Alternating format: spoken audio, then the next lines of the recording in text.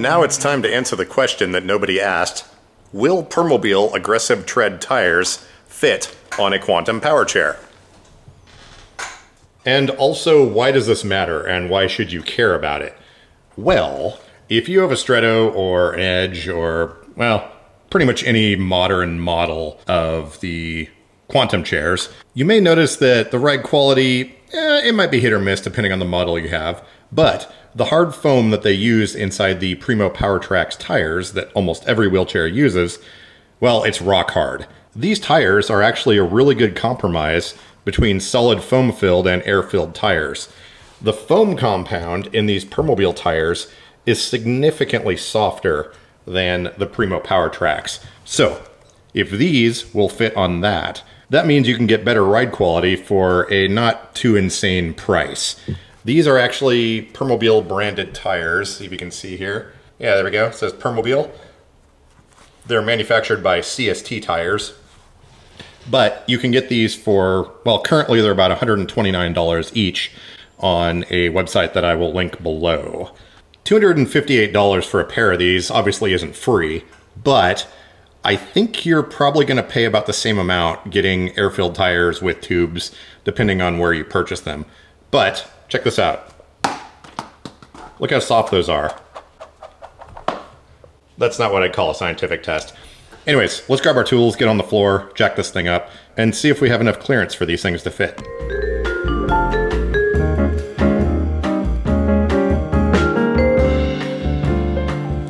Here we have our Quantum Edge 3 Stretto, and here are the new tires. As you can see, they're pretty much the same diameter. These do have a little bit more of a dome shape to the rubber though, but it compresses as you run around and basically flares out. These things, the foam is rock hard, so if we look really careful at the tread pattern here, you can see running around in the warehouse, our contact patch is only these two rows of lugs right here. These ones do not even touch the floor. So after we swap these out, I'm gonna run around in here and outside a little bit, and then we'll see how wide the contact patch is on this tire compared to this one. Because the foam will compress in this one and the tire will flare out a bit, whereas this one, that does not happen at all. Let's get our jack under the chair here. And by the way, I always have to mention anytime someone sees one of these jacks, they wanna know where it is, how to get it, and all this stuff. This thing I got in like 2004. It was a Harbor Freight thing, and I don't think they sell it anymore. It's a low-profile U.S. General aluminum jack. And the minimum lift height on this thing appears to be uh, right at about three inches, maybe a hair under. But I found this jack without the little rubber thing on there. Seems to fit underneath most chairs. Just barely. Let's get this hoopty up off the ground. There we go, doesn't take much. As you can see here, we have some lovely customizations. There's lug nut spike caps and matching blue breaker release handles. There's a link down in the video description on where to buy those. There's a viewer of the channel that actually makes those. Uh-oh. I think I've forgotten to tighten up the lug nuts last time I had the wheels off this thing. And those are not supposed to unscrew like that.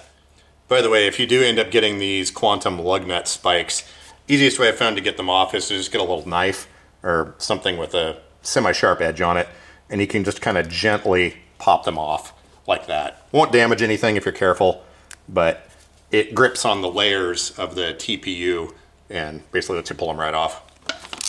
Should probably be using power tools for this, but I don't have any here with me.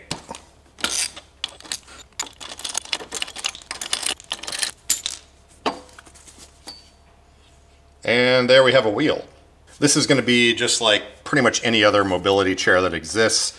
It's going to have a split rim. You take the two halves apart, pull the tire off, put your new tire on, and then put it back together. This one appears to have Allen cap bolts that hold the two halves together. And there's some weird stickers down in here. What do these say? Uh, that's in German or some language. And this one says, deflate tire completely before removing wheel nuts. Ah, yes. If you do happen to have air-filled tires, you must deflate the tires before you take apart these two halves of the wheel. Otherwise things will break and um, death and or destruction may occur. I'm joking, but seriously, uh, if you have air-filled tires, deflate them before you remove these. Bad things will happen. Okay, this is, what size is this? Looks like a five millimeter. Thank you to the person, by the way, that got me this set of uh, T-handle Allens. I have yet to make a holder for them. I just threw them all in this tray right now. But very handy to have that here at the warehouse. So let's get all these broken loose.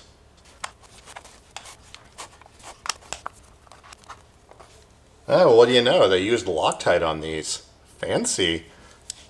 Who'd have thought that a Quantum could have bolts on it that were actually properly tight and have thread locker on them? Yeah, I know. I give I give Quantum a lot of crap about stuff, but if you've been watching this channel for more than five seconds, you understand. You understand why. Boy, that one's talking to us. Okay, get these screws out of the way. There we go.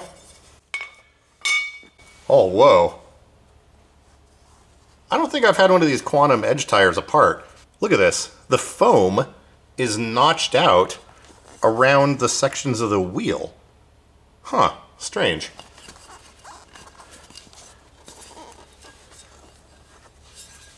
Yeah, you can see our little sort of star pattern here. And the matching foam. Huh, weird. There we go, Primo Powertrax. And the size is 3.0 by 8.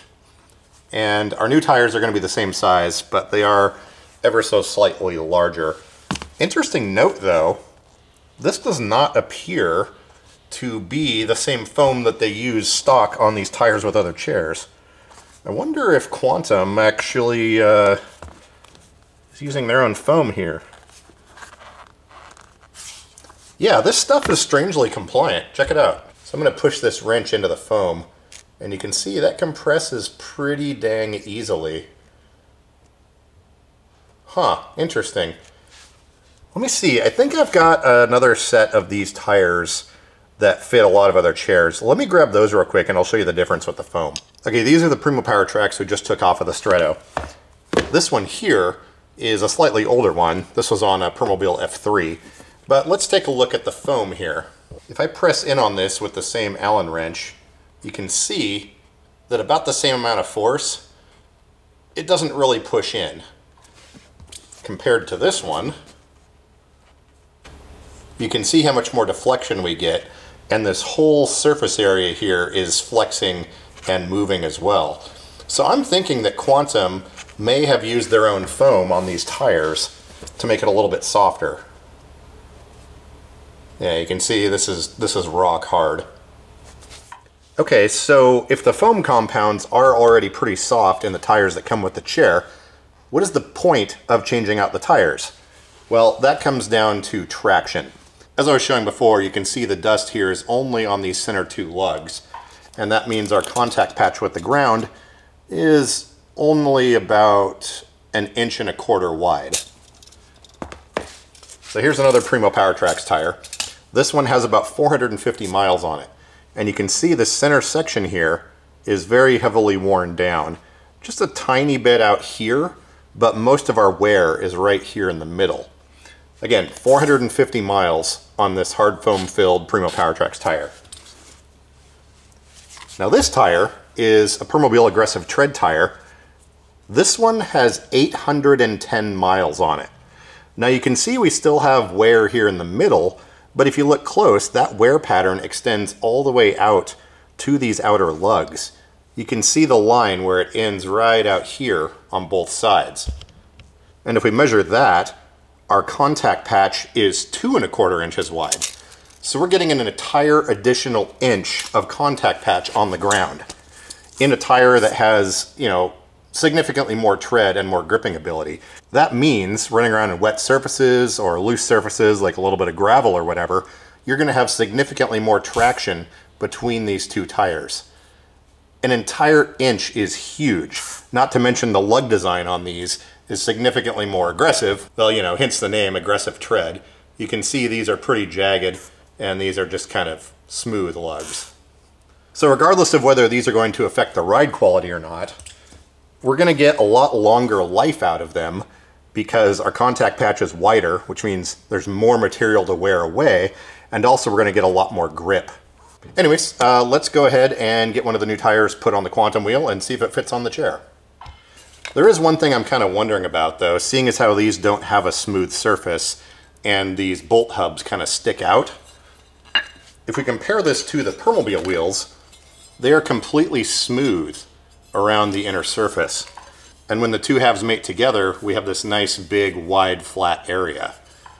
If we compare that to the Quantum wheel, you can see instead of being smooth, it has all these bumps sticking out. So I'm kind of curious if that's going to make a difference or not. But let's find out. Okay, putting this in here, uh, you can see that we've got a gap around all of the edges. Now, I'm not sure if that's going to cause an issue. I can get my finger in here. Basically, the weight of the chair running on the wheel is going to be on these five points here. Wait, is that five, two, four? Actually, six. Six points. um, so I don't know if that's going to affect our ride quality because, well, even the parts where the bolts stick in, there's a tiny bit of a gap there. Hmm. All right, well, we are definitely in experimental phase here. Let's, uh, let's see what happens. And by the way, these wheels are keyed. You can see here in a couple spots, we have, we have some little metal dowels sticking up. Looks like they're in three different spots. Right here, right here, and right here. Then also we have the cutout for the valve stem if these happen to be air-filled tires. So we want to look at our wheel here and we can see that the cutout is right here for the valve stem. So we'll want to make sure to line that up. And I should probably have something on the floor here so I'm not scratching at the front of that wheel, but uh, yeah, science. So let's get this kind of lined up here. Get a couple of our screws in. And if you notice here, there's a gap. When you put these screws in, it's to start squeezing these two halves together.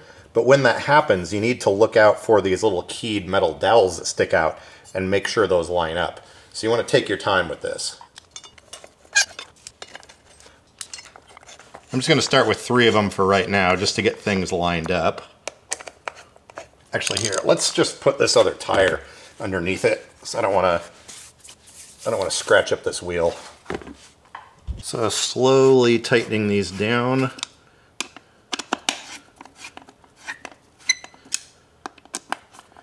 Just until those dowel pins engage. Okay, there we go. I can see the gap is closed up.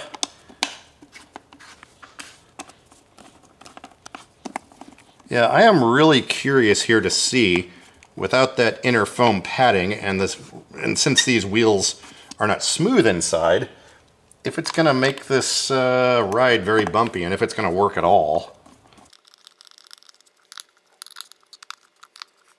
Now I'm just snugging these up by hand. Regardless of whether this works or not, I'm not going to be leaving these tires on these wheels and on that chair. These aggressive tread tires are actually for something else. So, um, I mean, feels like they're on there. Knowing that there's that gap inside though kind of has me wondering once we get the weight of the chair on here and we start driving around, it could make these lopsided. Okay, looks like our fitment on the fender here is fine. I can still get my finger in there, no problem.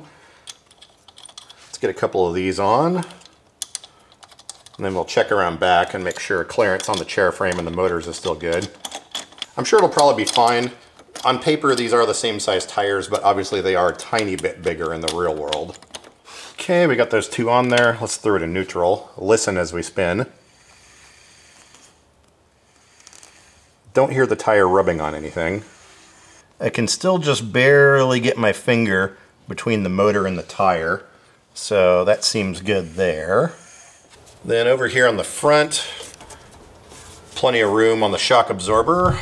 There you can just barely see around the leg rest. We've got clearance on that shock mount and the other stuff up top here.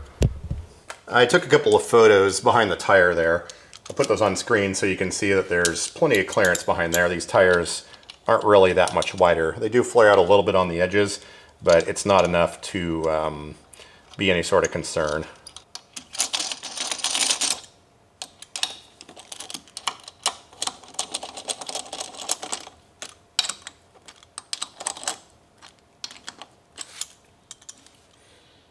Uh, that's no good. We broke a stud off. Look, it's it. Look, it's finger tight. How on earth did that break?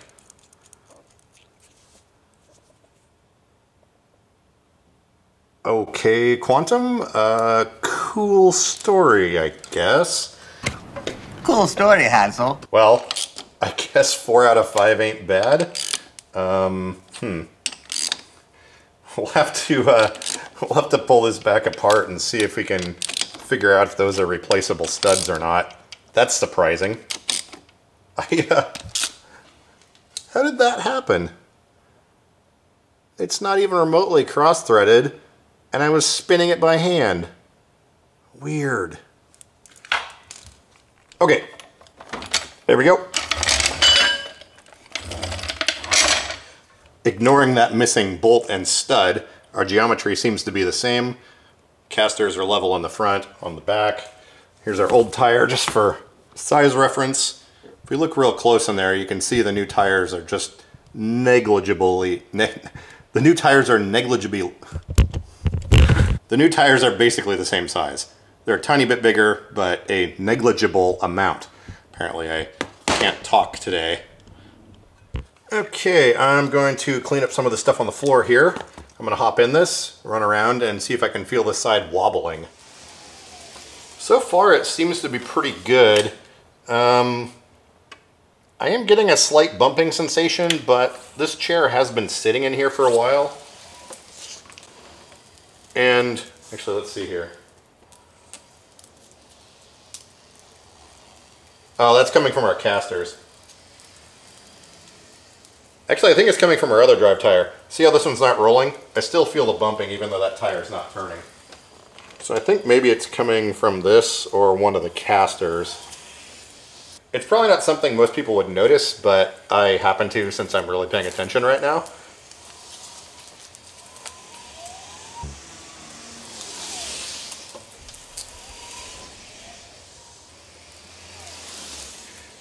Okay, um, I think we're gonna go ahead and swap the one on the other side too.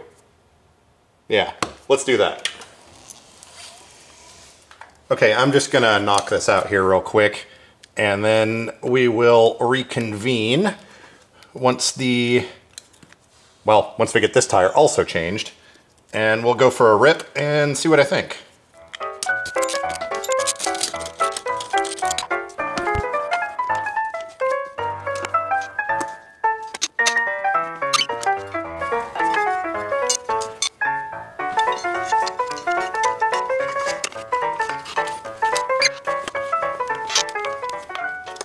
While we're in here screwing around, let's take a look at these hubs and see if these are replaceable. They kind of feel like they might be press-in studs. Uh, let's see if we can get one of them out of here. Everything's a hammer.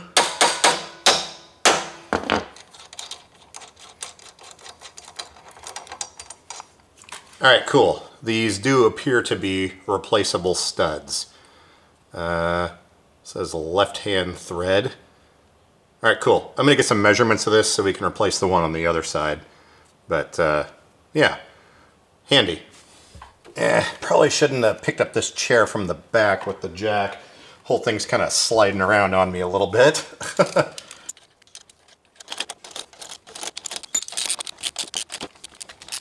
Okay, we've got these things on here, and uh, I don't know, I do like the way they look. Okay, so that weird bumping sensation that I was getting before seems to be gone now. I think what that was, was these tires here. With the softer foam compound, when the chair sits around for a while, you get sort of a flat spot that goes away. And that's one thing with both of these tires, since they both have pretty soft foam compounds. Apparently Quantum fills their own, and I actually, I mean, But with the softer foam, if you sit still for an hour or two, you may notice kind of a bump, bump, bump, bump as you run around for the first few minutes. It's not really bad or anything, but you just might notice it. Let's compare the foam here. Okay, so this is a standard Primo Powertrax, same foam compound that's used on many other chairs out there. You can hear that uh, kind of the weight of it and the thud when it hits the ground and how high it bounces. Let's compare it to this one. Here that sounds more like tire. That's because things are moving around in here. So this, uh, I can't quantify it, but this one also feels a little bit lighter. So interesting note, I didn't realize that Quantum was, you know, using their own foam compound, so that's kind of cool. But same tire tread that tends to wear in the middle.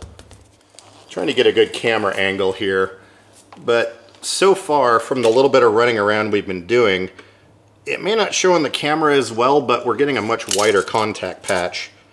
And right now, we're at about an inch and three quarter of contact on this. And as we run around more and the center part wears a little bit, that's gonna widen out. But once again, our tread is significantly more, significantly more aggressive on these.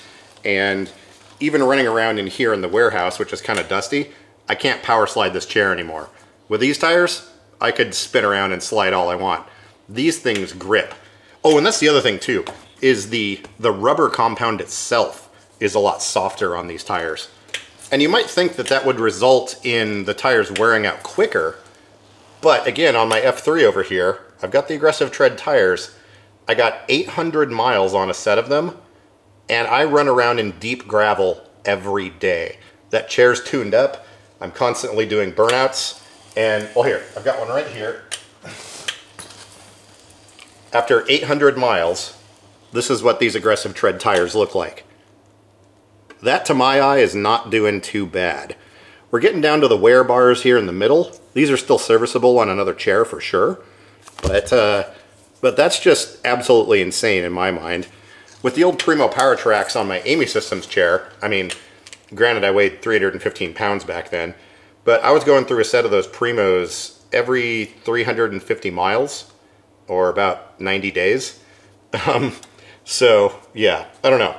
These things seem pretty good. So my C300 that I have out at the bus, it's got the standard Primo Powertrax tires on it. That thing gets stuck in the gravel out there constantly. But these tires, I can move around no problem. So anyways, I'm not trying to shill tires, I'm just saying it may improve your quality of life if you have better traction and a softer ride. And you know, all things considered, the $258 or whatever it was to buy, buy a pair of these, I think is totally worth it. Oh man, it's starting to get a little bit warm in here. I had to turn on the blower. I'm gonna run around outside a little bit and go on some of the pavement and hills and stuff that are out here and uh, see how it performs. I'll be back in a few minutes.